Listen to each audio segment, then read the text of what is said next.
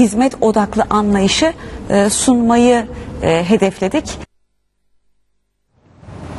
Evet, e, Türkiye'nin her zaman için bir döviz açlığı, bir döviz açığı var. Çünkü bizim e, iç tasarruflarımız çok düşük. İç tasarruflarımız düşük olduğu için dışarıdan çok para geldiği zaman çok, az para geldiği zaman az buyuyoruz. Türkiye'nin en temel sorunlarından bir tanesi bu. Dışarıya olan, dışarıdan gelen paraya olan bağımlılığımız. işte cari açığı kapatmak için büyümemizi finanse etmek için dışarıdan gelen paraya muhtacız. Dışarıdan gelen parayı da bir tanesi doğrudan yatırımlar, öbürü de sıcak para olarak ikiye ayırıyoruz. Sıcak para değil doğrudan yatırımları istiyoruz. Burada üretim yapan, vergi veren, istihdam sağlayan e, şirketleri istiyoruz.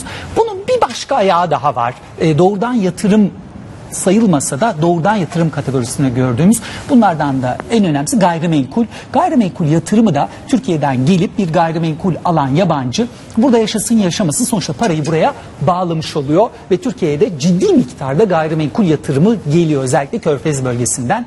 Acaba son e, Körfez bölgesinde daha doğrusu Kuzey Afrika ve Orta Doğu'da yaşanan gelişmeler etkiledi mi? Türk firmaları Dubai'deydi. Kendilerini anlattılar Türk inşaat firmaları Dubai'deki gayrimenkul e, fuarında ve oldukça iyi sonuçlar aldılar.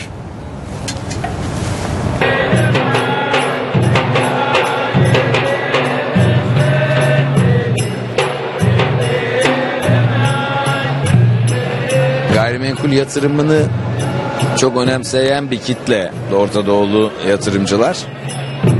%10'dan fazla ülke 25 bin üzerinde katılımcı. Dünya kriz tedirginliği yaşarken Dubai'den gayrimenkul sektöründen moral bozmak yok, yatırımlara, satışlara devam mesajı geliyor. Eylül ayı da yılın en iyi satış ayına e, rastladı. Çok iyi satışlar oldu. Şu anda da Ekim çok iyi başladı.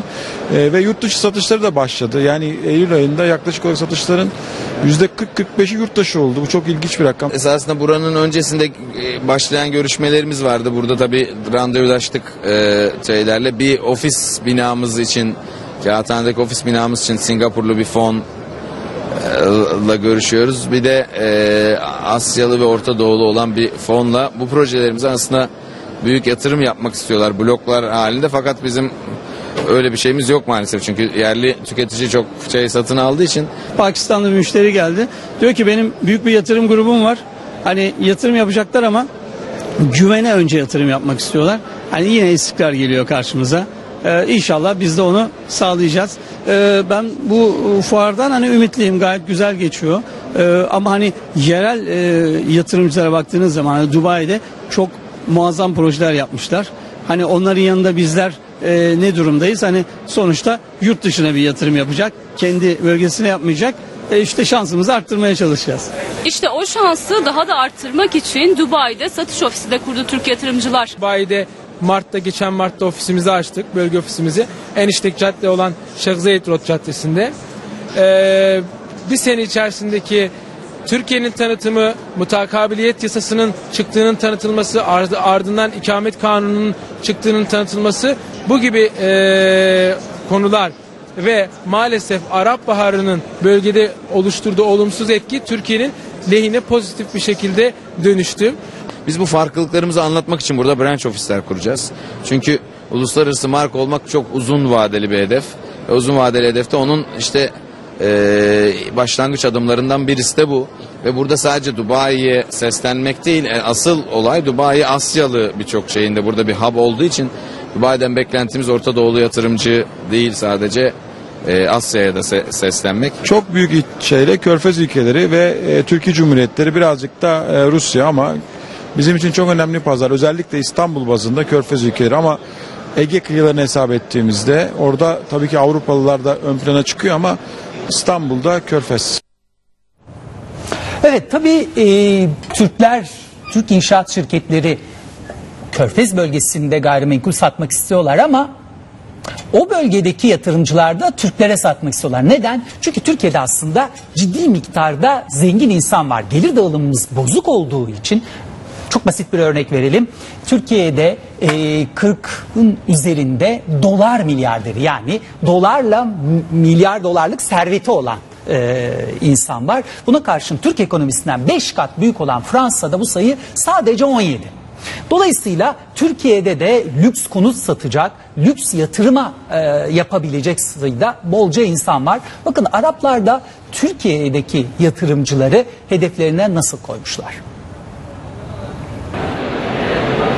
Orta Doğu'da gayrimenkul sektörünün kalbinin attığı yer Dubai'de Türk firmalarına ilgi büyük. Türkiye ile yakından ilgilenen yatırımcılardan biri Dubai'nin en büyük projelerinden Falcon City'nin başındaki isim. Falcon City'de Tac Mahal, Eyfel Kulesi, piramitler gibi dünyanın çeşitli harikalarının kopyaları yer alacak. Onların etrafında da birbirinden lüks villalar. billion dirham of investments. 7 milyar dolarlık bir yatırım yaptık. Tamamının 2020 yılında tamamlanmasını bekliyoruz. Villalarımızı satın alanlar arasında Türk aileleri, Türk yatırımcılar da var. Türkiye ile Dubai arasında daima bir bağ olmuştur. Ben de Türkiye'ye gelip yatırım fırsatlarını araştırmak istiyorum. İyi fırsat neredeyse biz oraya gideriz. Dubai'de 1 milyar dolarlık başka bir projenin yatırımcısı Yusuf Kazım da Türkiye'yi çok sevdiğini söyleyerek başlıyor söze. Hatta eşinin Bursa civarında bir ev almak için ısrar ettiğini anlatıyor. Ama yatırım konusunda biraz zamana ihtiyaç var diyor. Actually, currently we have enough area here we wanted to concentrate on. Buradaki yatırımlarımıza odaklanmış durumdayız ama bu fuarda çok sayıda Türk firmasının da olduğunu görüyoruz. Rekabet gerçekten çok büyük. Çok değişik tasarımlar var. Birbirimize ilham verebileceğimizi de düşünüyorum. İleride işbirlikleri de olabilir. Mısırlı yatırımcı Ahmet Sabursa hedefimiz öncelikle körfez ülkeleri ama Türkiye göz ardı edilemeyecek kadar cazip bir pazara dönüştü diyor. Years ago and it was by pure luck. 4-5 yıl önce ortağım Türkiye'de yatırım yapmamızı önermişti ve ciddi ciddi üzerine düşündük. Türkiye gerçekten çok cazip bir pazar. Ancak o dönemde Mısır dışında yatırım yapmıyorduk. Ama son dönemde Azerbaycanlı başka bir ortam yeniden Türkiye'ye yatırım yapmamız gerektiğini söyleyip duruyor. İtiraf ediyorum henüz ev ödememizi yapmadık ama araştırmalarımızı hızlandırdık. Although it was attractive, we didn't Evet ama dünyanın bir önemli gündemi var. Nedir o gündem? Bu yıl olmayacağı belli ama önümüzdeki yıl mutlaka Amerika Birleşik Devletleri Merkez Bankası piyasaya saçtığı dolarları kesecek gibi görünüyor. Yani ucuz ve bol para dönemi bitecek. İşte bütün dünya buna hazırlanıyor. Bu paranın pahalılandığı dönem nasıl etkileyecek gayrimenkul sektörünü? İşte onun da yanıtı bu haberimizde. Avrupa ve Amerika krizle baş etmeye çalışırken dünyanın gözü bir anlamda umudu körfez ülkelerinde. İşte böylesi bir dönemde Dubai'de düzenlenen gayrimenkul fuarında krizin adı sıkça anılıyor ama körfez yatırımcısı da körfezden yatırım bekleyenler de kendilerinden epey emin konuşuyor. The whole world has problems everywhere. The West. Evet, dünyanın her yerinde, bütün ekonomilerde sorunlar var. Ama Dubai'de ve Birleşik Arap Emirlikleri'nde işler epey yoluna gidiyor. Biz de bu yüzden burada 3 projeye birden başladık. Şirketimizin merkezi Mısır'da. Darbe sonrası epey endişeliydim ama yavaş yavaş işlerin yoluna gireceğine inanıyorum. Because UAE is a very good environment for investments, Birleşik Arap Emirlikleri özellikle gayrimenkul alanında yatırım için çok iyi bir bölge. Hem çok iyi inşaat şirketlerimiz hem de çok iyi işleyen bir ekonomimiz var. Diğer ülkelerle de iyi ilişkiler içindeyiz. Dolayısıyla bizim gayrimenkul pazarımız gelecek vaat ediyor. Tabi dünyada olup bitenler bizi etkiliyor ama ne ölçüde etkilediği önemli. Bence şu andaki kriz daha öncekiler gibi değil. Başa çıkması daha kolay. Uh, Türk firmaları ise temkinli iyimser. Siyasal istikrarsızlık ortamları gayrimenkul sektörünü çok önemli bir şekilde etkiliyor ama e, biz e, ümitliyiz ama temkinli iyimseriz. Tabii e, Türkiye'nin son zamanlarda e, siyasal olarak e, Mısır olaylarına çok fazla e, taraf tutması burada biraz körfez gayrimenkul geliştiricilerini etkilediği söyleniyor. Bunu gözlemleyeceğiz ama normal şartlarda Türkiye'de biz bunu e, hissetmedik ama burada o şekilde söyleniyor. Bunlar geçiş dönemi. Geçiş döneminde tabii ki tüketici güveni anlamında tedirginlik olabilir, yatırımcı güveni anlamında tedirginlikler olabilir.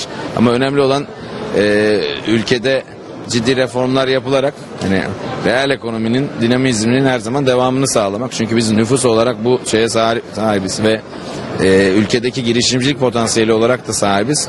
Ben yine umutla bakılması gerektiğini düşünüyorum. Genelde bir kriz var. Yani şu anda insanlar her şeyde çok temkinliler. Evet, Körfez bölgesindeki yatırımcıların nabzını ve oradaki Türk şirketlerin nabzını Sinem Yöndem e, ve e, kameraman Güngör Yılmaz tuttu. Peki Arife günü güzel haberler duymak istiyorsunuz, bayram günü güzel haberler duymak istiyorsunuz. Ama